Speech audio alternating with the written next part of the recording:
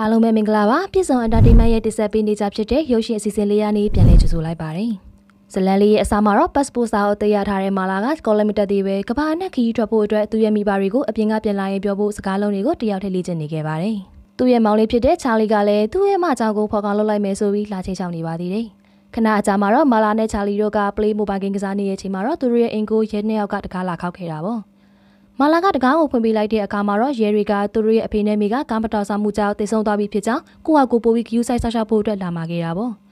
မာလာကရုတ်တရက်ဆိုတော့အားအားသိသွားပြီးမဲ့လည်းအမှန်တရားမို့လို့ဒါကိုလက်ခံလိုက်ရပါတယ်နောက်တစ်နှစ်တည်းကြာလာတဲ့အခါမှာတော့မာလာကချာလီကိုမိဘတယောက်လိုဆောက်ရှောက်လာခဲ့ရပြီးချာလီကလည်းသူ့ရဲ့မိဘတွေတည်ဆုံပြီးကြတဲ့စိတ်တင်ရလောက်တဲ့ကောင်လေးတယောက်ဖြစ်လာခဲ့တာပေါ့တညနေမှာတော့ချာလီကသူ့ရဲ့တငယ်ချင်းတွေရဲ့ပါတီပွဲကိုသူ့အမမသိအောင်သွားခဲ့ပေမဲ့အယုတ်ပြတိုက်ထဲမှာလုံနေတဲ့ play mobile ပွဲကိုတွေ့တဲ့အခါမှာတော့အာယုံပြောင်းပြီးဝင်ကြည့်နေခဲ့ပါတယ်။ မာလာကလည်းချာလီကိုမတွေ့တော့တဲ့အတွက်သူ့ရဲ့ဖုန်းကိုချီရခံလိုက်တဲ့အခါမှာတော့ပြတိုက်ထဲရောက်နေတာကိုတွေ့လို့စိတ်ဆိုးပြီးလိုက်လာခဲ့တာပေါ့။မာလာပြတိုက်တွေကိုရောက်လာတဲ့အခါမှာတော့ချာလီနဲ့တွေ့တဲ့အချိန်မှာပဲရုတ်တရက်မိတွေကဖြစ်သွားခဲ့ပါတယ်။အဲဒီနောက်မှာတော့သူတို့နားမှာရှိနေတဲ့မိပြတိုက်ကနေပြီးရုတ်တရက်အယောင်တွေထွက်လာပြီးသူတို့နှစ်ယောက်ကိုထိမှန်ပြီးထူဆန်းစွာနဲ့ပဲနှစ်ယောက်လုံးက play mobile ကဘာတွေကကာတွန်းရုပ်ကလေးတွေဖြစ်ရောက်ရှိသွားပါတော့တယ်။ချာလီကတော့ vegan တိုက်ခိုက်ရေးသမားပုံစံပြောင်းသွားခဲ့ပြီးမာလာကတော့ပုံမှန် player တယောက်ပုံစံပါ။ ထပ်တီလိုက်ရတာကတော့သူတို့ရောက်နေတဲ့နေရာကဗီကန်နေနဲ့လူရိုင်းတိုက်ခိုက်နေတဲ့စစ်ပွဲအလင်မှာပေါ့တိုက်ပွဲမှာချာလီကလည်းရောရမီပေါင်းရတိုက်ခိုက်ခဲ့ပေမဲ့လည်းသူမှအလွန်တန်မာတဲ့စွာရရှိနေရကိုသူကသတိထားမိခဲ့ပါတယ်ချာလီကလူရိုင်းတွေကိုသူ့ရဲ့အစွမ်းနဲ့အနိုင်တိုက်နိုင်လို့အခြားဗီကန်တွေကချာလီကိုဝိုင်းပြီးချူချူခဲ့ကြတာပေါ့ချာလီကလည်းဒီလိုမျိုးသူ့ရဲ့ကောင်းဖြစ်ကြတာအရန်ကိုသဘောကျသွားခဲ့ပြီးတော့သူ့အမပြောတဲ့စကားကိုနားမဝင်ခဲ့တော့ပါဘူးဒီလိုနဲ့အောင်ပွဲအခန့်ကောင်းနေတဲ့ချာလီတယောက်ကလောက်လွဲတစ်ခုပေါ်ကိုမတော်တဆတက်နေမိပြီးဟိုးဝေးရဲ့ရေကန်တွေကိုလစ်ဆင်သွားခဲ့တော့တာပေါ့ မာလာကလည်းချာလီရဲ့နောက်ကိုမြင်းတကောင်ကိုမစီးတက်စီးတန်းနဲ့လိုက်လာပေမဲ့လည်းသူမမရောက်ခင်မှာပဲချာလီကိုပင်လယ်ဓမြတွေကဖမ်းခေါ်သွားခဲ့ပါတယ်။မာလာကအစွမ်းကုန်လိုက်ပေမဲ့လည်းတောအုပ်ကိုလွန်ပြီးရဲ့နောက်မှာတော့ကားရီအများကြီးဖြတ်နေတဲ့ကားလမ်းမကြီးကိုရုတ်တရက်တွေ့ခဲ့ရပါတယ်။သူမကမြင်းနဲ့ဆက်လိုက်နေပေမဲ့လည်းမြင်းကခါချလိုက်တာကြောင့်ခွေးရီဆွဲရဲလဲတဲ့ကိုကျသွားခဲ့တာပေါ့။အဲဒီနောက်မှာတော့ကားတစ်စီးရဲ့ပေါ်ကိုငမြချင်းနဲ့ချိန်ပြီးတွေ့တက်ပြီးကားပိုက်ရှိစီကလူမမိလိုက်ခဲ့ပေမဲ့လည်းပင်လယ်ဓမြတွေရဲ့ကားကရုတ်တရက်ပြောက်သွားတဲ့အတွက်မျက်ခြေပြက်ပြီးဆက်မလတ်နိုင်ဖြစ်ခဲ့ရပါတယ်။ ကာပါရှင်ကလည်းမာလာကိုချိန်ဆပြီးသူ့ရဲ့ကားကိုပြန်ယူသွားခဲ့တာပေါ့အဲဒီနောက်မှာတော့မာလာကသူ့ရဲ့မျက်စိကိုပြန်လာပြီးတော့လည်းမြင်းကသူ့ကိုထပ်ခါပြီးထွက်ပြေးသွားတဲ့အတွက်မှောက်ရက်လဲပြီးချန်ခဲ့ပါတယ်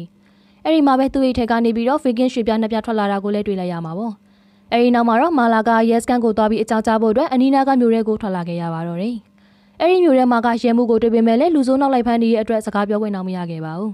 ဒါကြောင့်မဲသူ့ကိုကူညီနိုင်မဲ့အခြားတစ်ယောက်ကိုမှလာလိုက်ရှာတဲ့အခါမှာတော့ခုနကလမ်းပေါ်မှာသူမကားလုပ်ခဲ့တဲ့ Del ဆိုတဲ့သူနဲ့ပြတ်တွေ့ခဲ့ပါတယ်။ Del ကလည်းသူ့ရဲ့ကားပေါ်မှာပါလာတဲ့ပန်းရောင်ကောက်ရိုးတုံးတစ်ခုကိုစားလိုက်ပြီးတော့မျိုးတွေကမြင်းတွေအတောင်ပေါက်လာတာကြောင့်ဘသူမှထောက်ဝဲလို့မရလို့စိတ်ညစ်နေခဲ့တာဖြစ်ပြီးတော့သူ့ရဲ့အလုပ်ကအစ်စ်မပြေတာမာလာကြောင့်ဆိုပြီးမာလာကိုအပြစ်တင်နေပါတော့တယ်။ဒါပေမဲ့လည်းမာလာကတော့ချာလီကိုကဲဖို့အတွက်ပဲအာရုံရှိနေတာမို့လို့မျိုးလေကောင်ကိုသွားပြီးသူ့ရဲ့မောင်လေးကိုရှာပေးပါလို့အော်ပြီးအကူအညီတောင်းတော့တာပေါ့။ ဒါပေမဲ့လည်းဒါကိုဘယ်သူမှဂယူမဆိုင်တဲ့အတွက်နောက်ဆုံးမှာတော့မာလာကသူ့ရဲ့အိတ်ထဲကဗီဂင်ရွှေပြားတွေကိုထုတ်ပြီးစုချမယ်လို့ပြောခဲ့ပါတယ်။ရွှေပြားတွေကိုမြင်လိုက်ရတဲ့အခါမှာတော့လူတွေရဲ့အာယုံကမာလာစီကိုရောက်သွားခဲ့ပြီးမကြခင်မှာပဲလူတချို့ကမာလာနာကိုလာဝိုင်းပါတော့တယ်။ဒါကြောင့်ပဲမာလာတယောက်ကလည်းကြောင်းလန့်သွားခဲ့ပြီးတော့အဲဒီလူတွေလက်ထက်ကနေလွတ်အောင်ချက်ချင်းထွက်ပြေးပါတော့တယ်။ဒါပေမဲ့လည်းအဲဒီလူတွေကနောက်ကနေမြင်းနေနဲ့လိုက်ဖမ်းနေရမို့လို့မီလူကနေအချိန်လေးမှာပဲဒဲလ်ကသူ့ရဲ့ကားနဲ့ရုတ်တရက်ရောက်လာခဲ့ပြီးတော့မာလာကိုဆွဲခေါ်ပြီးတော့ကယ်တင်လိုက်ရပါတော့တယ်။ ကားပေါ်ကိုရောက်တဲ့အခါမှာတော့ဒဲလ်ကသူ့ကိုသူမိတ်ဆက်လိုက်ပြီးတော့သူကဒီကားထဲမှာပဲအိမ်လုပ်ပြီးနေတဲ့အကြောင်းကိုလည်းပြောပြခဲ့ပါတယ်။နောက်ပြီးမာလာရဲ့ရွှေတင်ကားတွေကိုရမယ်ဆိုရင်တော့ချာလီကိုရှာဖို့အတွက်ကူညီပေးမယ်လို့ပြောတဲ့အတွက်မာလာကလည်းသူစီမှာရွှေတင်ကားတွေအများများရှိတယ်လို့လှိမ်ပြောလိုက်တာပေါ့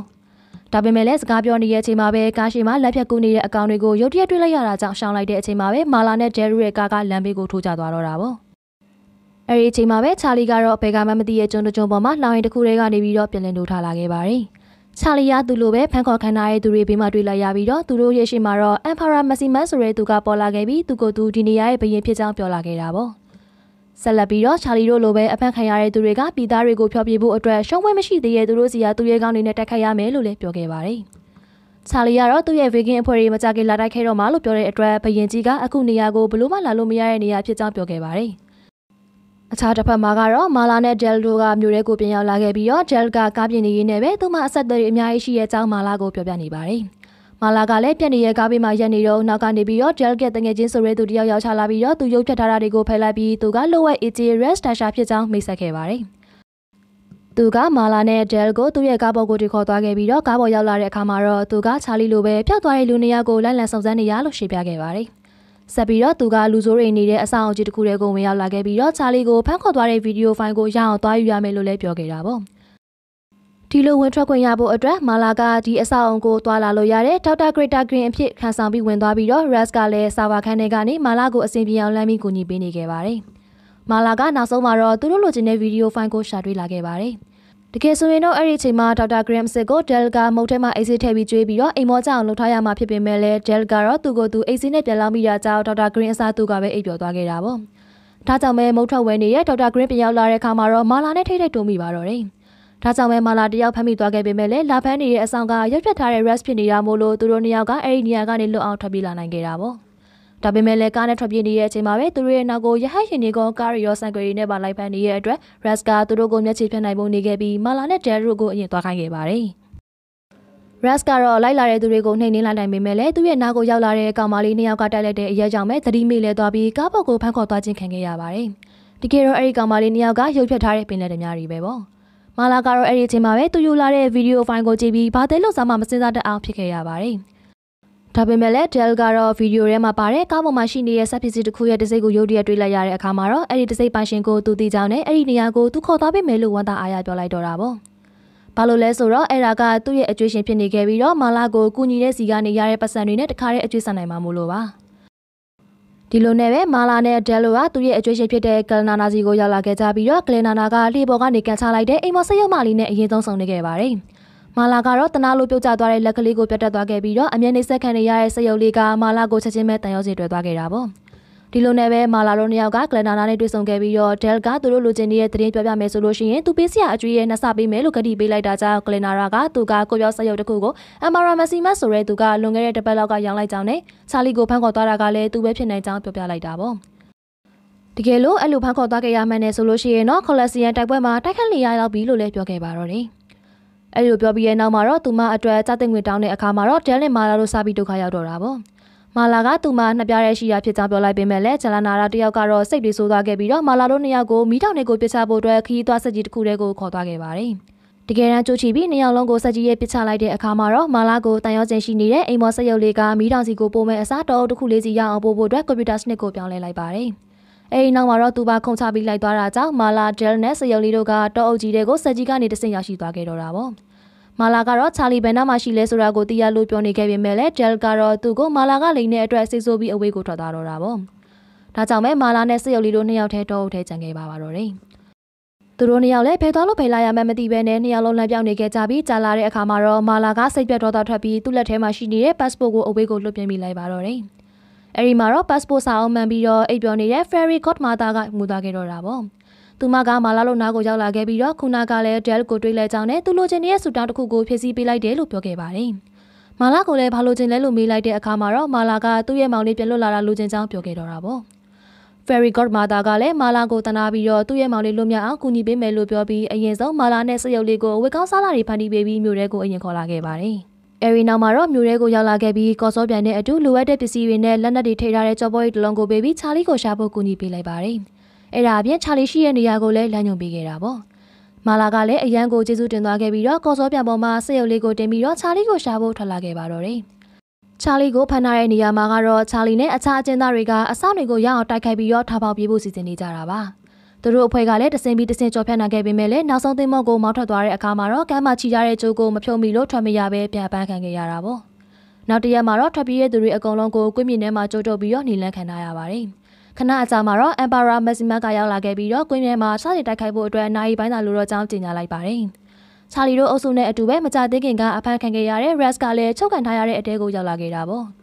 Ras ကအဖမ်းခံထားရင်းနဲ့ပဲချာလီကိုတွေ့တဲ့အခါမှာတော့မာလာလိုက်ရှာနေပြီးဒီနေရာကိုအမြဲဆုံးရောက်လာမှဖြစ်ကြောင်းကိုချာလီကိုပြောပြခဲ့ပါတယ်။မာလာရဲ့နာမည်ကိုကြားလိုက်ရတဲ့အခါမှာတော့ချာလီကဆရာတက်ကြသွားခဲ့ပြီးတော့သူတို့ကိုချုပ်ထားတဲ့တက်သားချောင်းတွေကိုပါထမ်းပြီးထွက်ပြေးတော့တာပေါ့။ဒီလိုနဲ့ပဲလေကားပေါ်ကနေဒလင်းကောက်ကွေးပြုတ်ကြကကြုံထားတဲ့တသားချောင်းတွေကကျိုးပဲ့ကုန်ပြီးသူတို့ကလွတ်မြောက်ခဲ့ပါတယ်။ဒါပေမဲ့လည်းချက်ချင်းရောက်ရှိလာတဲ့ Amara Maxima ရဲ့တပည့်တွေကအရန်ကုန်များလွန်လာတာကြောင့်ချာလီကအနစ်နာခံပြီးခုခံပေးပြီးကျန်တဲ့သူတွေအားလုံးလွတ်မြောက်အောင်လုပ်ပေးခဲ့တာပေါ့။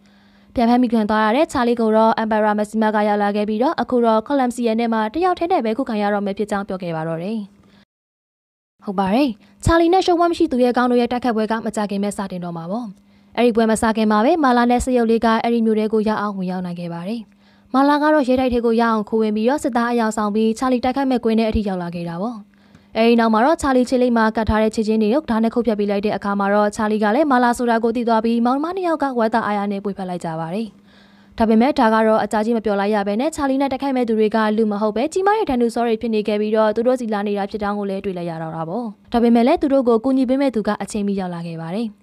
အဲဒီသူကတော့ gel ဖြစ်ပြီးတော့သူ့ရဲ့ကားနဲ့အတူစရုပ်လေးကိုပါခေါ်လာပြီးပမ်မကုမင်ကြီးကြီးကိုမောင်းဝင်လာခဲ့တာပါမာလာနဲ့ချာလီတို့ကလည်းကားပေါ်ကိုတက်လိုက်ကြတာပေါ့ဒီလိုနဲ့အပေါ်ကိုရောက်လာတဲ့အခါမှာတော့ gel ကသူက ferry ကောမာတာစီမှာပူရီတို့အခုတထောင်ရောင်းပြီးတော့အကျွေးပြတ်ဆက်နိုင်ပါစေလို့ဆုတောင်းခဲ့တာဖြစ်ကြောင်းကိုလည်းပြောပြခဲ့ပါတယ် ဒီလိုနဲ့ပဲဒိုင်နိုဆောကြီးကလည်းကားရဲ့နောက်ကိုလိုက်လာတာကြောင့်မာလာကအကြံထုတ်လိုက်ပြီးတော့ gel ကကားပေါ်မှာပါလာတဲ့ဘိုင်ရောက်ကောင်ရိုးတုံးကိုဒိုင်နိုဆောကိုကြွေးဖို့ပဲဆုံးဖြတ်လိုက်ပါတယ်ဒါကြောင့်မဲချာလီကမာလာကိုလေပေါ်မှာလွှဲပြီးပစ်လိုက်ပြီးမာလာကလည်းဒိုင်နိုဆောကြီးရဲ့ပါဇက်လန်းဟာချိန်မှာတော့ဘိုင်ရောက်ကောင်ရိုးတုံးကိုပါဇက်တဲ့ပြစ်ထိုင်လိုက်နိုင်ပါတယ်ပန်းရောင်ကောက်ရိုးတုံးကိုစားလိုက်ရတဲ့ခက်ထန်ကျန်တန်းတဲ့ဒိုင်နိုဆောကြီးကလည်းချက်ချင်းပဲအတောင်လေးတွေပေါက်ပြီးတော့ချစ်စရာဒိုင်နိုဆောလေးမှကြီးတကောင်ဖြစ်သွားခဲ့တော့တာပေါ့ အဲဒီအချိန်မှာပဲအမ်မာရာမစီမတ်ကသူ့ရဲ့လူတွေကိုဝိုင်းဖန်ခိုင်းမိမယ်လဲချာလီကတင်ပေးလိုက်တဲ့သူ့ရဲ့မိတ်ဆွေတွေကပြန်ရောက်လာခဲ့ပြီးတော့အမ်မာရာကိုဝိုင်းဖန်ပြီးလှောင်အချုပ်ထဲကိုထည့်လိုက်ပါတော့တယ်အားလုံးကလည်းအောင်မြင်စွာကြောက်ဖြတ်သွားနိုင်ပြီးရဲ့နောက်မှာတော့ချာလီကသူ့ရဲ့မိတ်ဆွေတွေကိုကျေးဇူးတင်ကြောင်းပြောလိုက်ပြီးတော့မာလာကလည်းဒန်နဲ့မတ်ကောစရုပ်လေးကိုပါပြန်တော်မဲ့အကြောင်းနှုတ်ဆက်ခဲ့ပါတယ်